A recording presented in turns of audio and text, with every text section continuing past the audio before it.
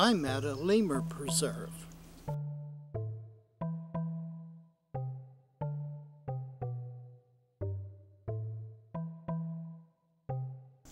And no, I'm not in Madagascar.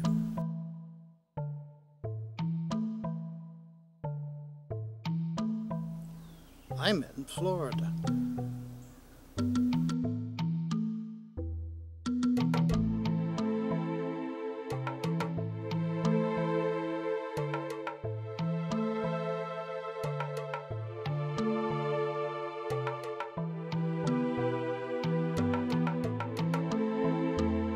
Well, it starts with Dr. Ian Tattersall, who is a paleoanthropologist and lemur expert at the American Museum of Natural History, where we both worked.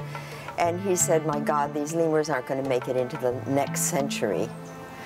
And uh, it was very devastating. He explained all the reasons why. I knew lemurs. I'd been to Madagascar, but, you know, um, I didn't know that the situation was as dire as it was, and that was 20 years ago.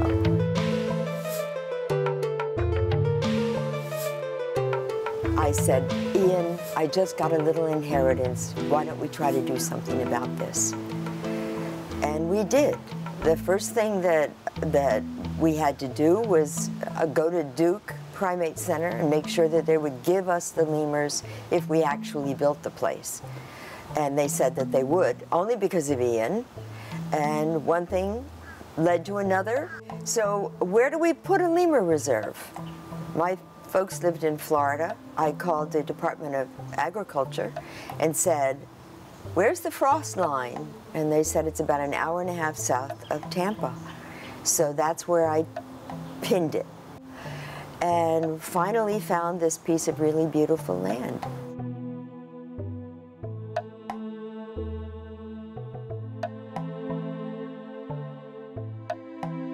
And I got some kids here in Myakka City to put it together, put, a, the, uh, put the deck together. We put it on the deck and I started entertaining prospective donors.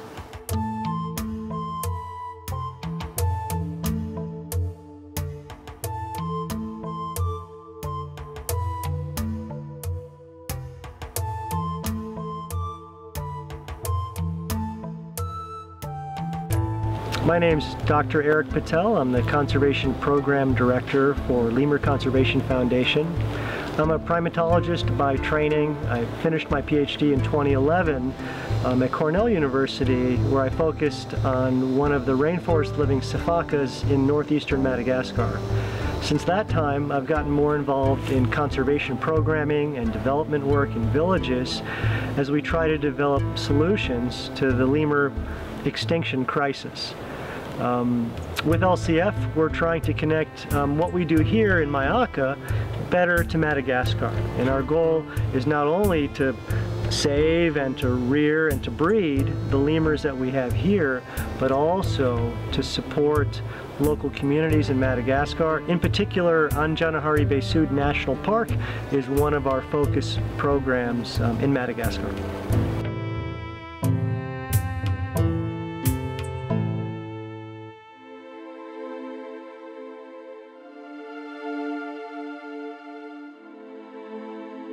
The facility here in Myakka City is remarkable. These animals have two very large forests where they free range. That's unusual. You'll be hard pressed to find uh, more than one or two facilities worldwide where the animals have this much space to roam and they actually engage in extremely naturalistic behavior.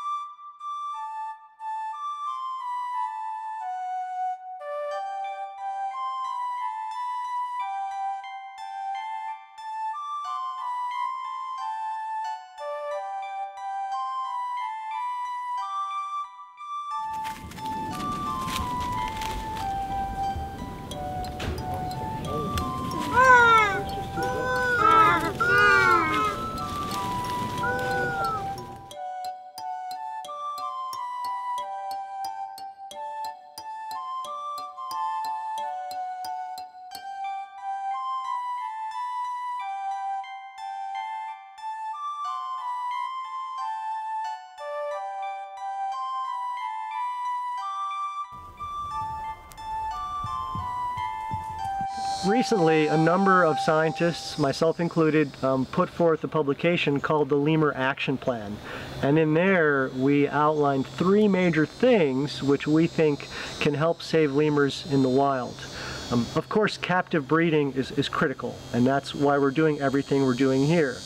But additionally, we think ecotourism um, can help Madagascar a lot. Lemurs aren't that hard to see in the wild, much easier than many other primates worldwide, and the forests in Madagascar are pretty safe. There's no poisonous snakes, and there's no big, um, no large mammals per se, no lions, tigers, elephants, hippos. Also, we think that supporting local community guide associations is critical to saving wild lemurs. These are small associations of local people that are invested in protecting their local wildlife and they earn money by doing that. Thirdly, we think that the long-term research centers in Madagascar um, are, are having a lot of success in saving national parks and saving wild lemurs.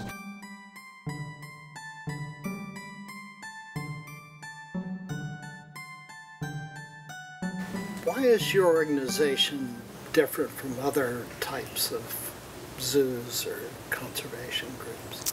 The main difference is that we have a very specific species focus. So we're 100% dedicated and committed to lemurs in particular. So um, unlike a zoo that has a variety of different animals and they have a lot of different conservation focuses, um, we focus specifically on lemurs. And so we can provide a large amount of space um, for lemurs and we can prioritize conservation programs that are dedicated specifically to them. We want to save lemurs from extinction.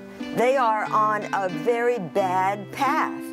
They are the most critically endangered primates on the planet. In fact, they're the most critically endangered family of mammals on the planet.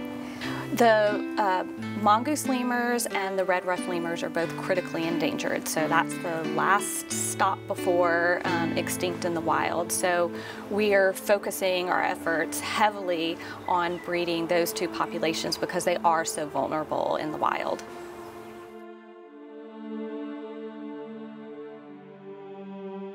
there's, you know, over 100 different kinds of lemurs, and so you see all different types of social structures. Um, but a lot of them have these very, very close-knit communities, and, and I think that is also part of the attraction to lemurs is you see them and you see this family dynamic um, that's similar to you know what we see in people, and we can relate to that. We can relate to the, the mom and the dad and the children and the play behavior um, and the maternal behavior, all of that we see um, is similar to, to what we see in ourselves.